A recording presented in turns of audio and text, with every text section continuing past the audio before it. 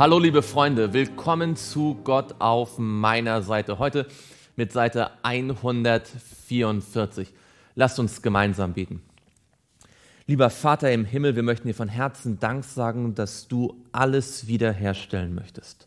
Uns und diese ganze Welt. Und wir danken dir, dass wir heute schon einen Vorgeschmack auf die Ewigkeit haben dürfen durch dein Wort. Und wir möchten dich bitten, dass du durch deinen Heiligen Geist zu uns sprichst. Im Namen Jesu. Amen. Wir sind in 3. Mose 25 bei den Bestimmungen zum sogenannten Halljahr, zum Jubeljahr. In Vers 17 lesen wir, so soll nun keiner seinen Nächsten übervorteilen, sondern du sollst dich fürchten vor deinem Gott, denn ich, der Herr, bin euer Gott. Gott zu fürchten heißt also auch, den anderen fair zu behandeln. Darum haltet meine Satzung und bewahrt meine Rechtsbestimmung und tut sie, so sollt ihr sicher wohnen in eurem Land. Wenn wir also Gottes Gebote befolgen und auch fair mit unseren Mitmenschen im Alltag umgehen, dann dürfen wir die Verheißung in Anspruch nehmen, dass wir sicher wohnen dürfen. Und das Land soll euch seine Früchte geben, dass ihr esst bis zur Sättigung und sicher darin wohnt. Und wenn ihr sagt, was sollen wir im siebten Jahr essen? Denn wir sehen nicht und sammeln auch unseren Ertrag nicht ein. So sollt ihr wissen, ich will im sechsten Jahr meinen Segen, meinem Segen gebieten, dass das Land den Ertrag für drei Jahre liefern soll. Sodass, wenn ihr im achten Jahr seht, ihr noch vom alten Ertrag essen werdet, bis in das neunte Jahr, dass ihr von dem alten essen werdet, bis sein Ertrag wieder hereinkommt.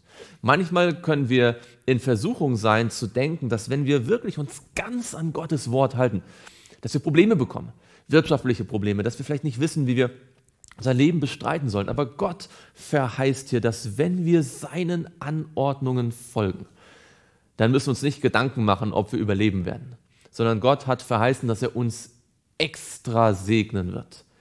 Wir haben schon gesehen bei der Geschichte von dem Manna in 2. Mose 16, dass Gott extra gibt, damit wir unter keinen Umständen Mangel leiden, wenn wir seinen Geboten treu folgen. Ihr sollt das Land nicht für immer verkaufen, denn das Land gehört mir und ihr seid Fremdlinge und Gäste bei mir. Letztendlich gehört alles Gott. Und wenn man wirklich glaubt, dass Gott der Schöpfer von allem ist, dann ist er auch der eigentliche Eigentümer. Ein echter Glaube an den Schöpfer würde also viele Auswüchse des Kapitalismus heute verhindern. Und deswegen ist die Botschaft, betet den an, der gemacht hat, Himmel, Erde, Meer und Wasserquellen, noch eine Botschaft, die direkt in unsere kaputte Wirtschaft hineinspricht. Und ihr sollt in dem ganzen Land, das euch gehört, die Wiedereinlösung des Landes zulassen. Es sollte also nicht hier erlaubt sein und dort verboten werden, sondern dieses Prinzip der Wiederherstellung im Halljahr sollte überall praktiziert werden. Interessant ist, dass Gott sagt, mir gehört das Land, ihr seid meine Gäste. Aber dann sagt er, das Land gehört euch. Gott gibt uns Eigentum. Er gibt uns verschiedene Gaben und Fähigkeiten. Aber diese gehören letztendlich Gott und wir sind seine Gäste. Wir wohnen bei ihm und sollen es auch zu seiner Ehre einsetzen. Wenn dein Bruder verarmt und dir etwas von seinem Eigentum verkauft, so soll derjenige als Löser für ihn eintreten, der sein nächster Verwandter ist. Er soll auslösen, was sein Bruder verkauft hat. Der Löser, der Goel, ist der, der erlöst, der den Preis bezahlt, um jemanden in die Freiheit wieder zurückzuholen. Jesus ist biblisch vom Erlösungsplan her gesehen unser Erlöser. Er ist der Löser und deswegen wurde er Mensch, deswegen wurde er unser Bruder, damit er die Menschheit erlösen kann. Und wenn jemand keinen Löser hat, mit seiner Hand so viel erwerben kann, wie zur Wiedereinlösung nötig ist, so soll er die Jahre, die seit dem Verkauf verflossen sind, abrechnen und für den Rest den Käufer entschädigen, damit er selbst wieder zu seinem Eigentum kommt. Wenn er ihn aber nicht entschädigen kann, so soll das, was er verkauft hat, in der Hand des Käufers bleiben bis zum Halljahr. Dann soll es frei ausgehen und er soll wieder zu seinem Eigentum kommen. Wer ein Wohnhaus innerhalb einer ummauerten Stadt verkauft, Der hat zur Wiedereinlösung Frist bis zur Vollendung des Verkaufsjahres. Ein Jahr lang besteht für ihn das Einlösungsrecht. Wenn es aber nicht gelöst wird bis zum Ablauf eines vollen Jahres, so soll das Haus, das innerhalb der ummauerten Stadt ist, dem Käufer und seinen Nachkommen als unablöslich verbleiben. Es soll im Halljahr nicht frei ausgehen. Dagegen sind die Häuser in den Dörfern ohne Ringmauern dem Feld des Landes gleichzurechnen. Es besteht Einlösungsrecht und sie sollen im Halljahr frei ausgehen. Es war also sicherer, Eigentum auf dem Land und in kleinen Dörfern zu haben, als in einer großen Stadt. Schon hier sieht man, dass Gott den Menschen das Landleben attraktiv machen wollte.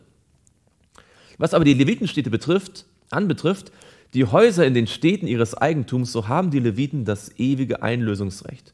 Und wenn jemand etwas von den Leviten erwirbt, so geht das verkaufte Haus in der Stadt seines Eigentums im Halljahr frei aus.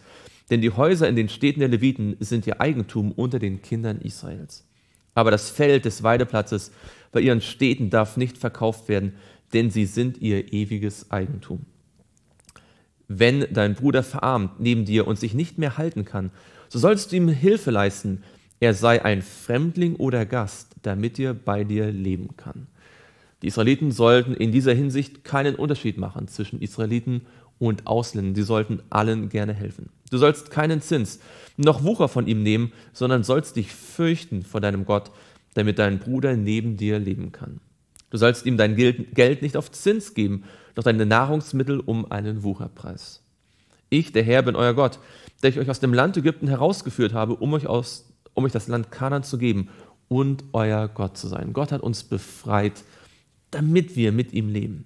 Und wenn dein Bruder neben dir verarmt und dir sich selbst verkauft, sollst du ihn nicht Sklavenarbeit tun lassen, wie ein Tagelöhner und Einwohner ohne Bürgerrechte, Bürgerrecht soll er bei dir gelten und dir bis zum Halljahr dienen.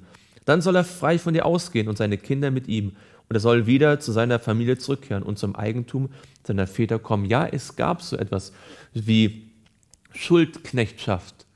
Aber diese sogenannten Sklaven oder verkaufte Menschen sollten, wenn sie Israeliten waren, keine eigentliche Sklavenarbeit tun. Auch hier sieht man, wie differenziert das Gesetz Gottes ist und wie fortschrittlich es auch für seine Zeit gewesen ist. Lasst uns gemeinsam beten.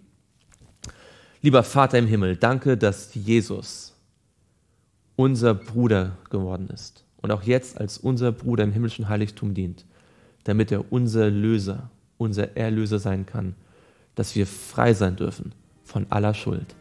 Das danken wir im Namen Jesu. Amen.